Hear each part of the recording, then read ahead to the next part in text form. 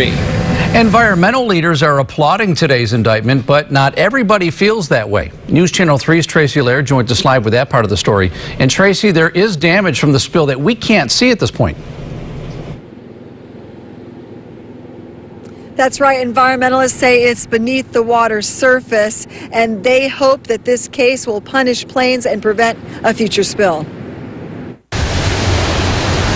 You know, more than nine miles of the ocean was covered with a giant oil slick, and, you know, hundreds of mammals and birds died, and many more were injured. And I mean, it's had a huge impact. Environmentalists say the indictment is huge too. They were the first to unofficially respond. Because their response was quite slow on the first day, we were able to get out there on the beach and on our boat and up in the plains to see um, what was going on before they sort of locked it down a day or two later. Environmentalists believe the criminal charges will show what they knew or should have known. Um, it never should have been corroded to this extent, and then the corrosion was grossly underreported. So there were a lot of things that were done wrong.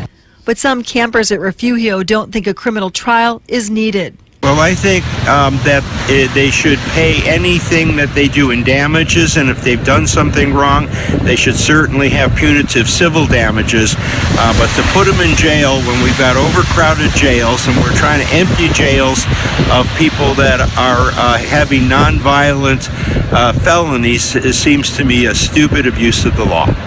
Other campers who canceled plans last year are back and waiting to see what happens. Um, I probably will, just out of curiosity, because I, to me, this is something I cherish because our family comes here, so it's special. And while that plays out, Channelkeeper will be launching a quarterly tarball monitoring program the presence of a lot of seeps in this area really confounded their response with a lot of the you know Plains or the agencies saying oh we're not sure if that's from the spill or if it's from natural seeps. And so here forward having this sort of baseline that Channelkeeper is collecting through this monitoring program will be able to say this is normal for this season on this beach and this isn't normal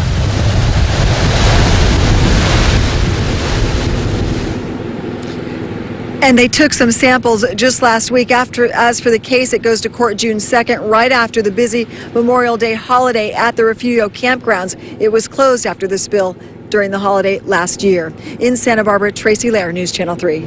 Okay.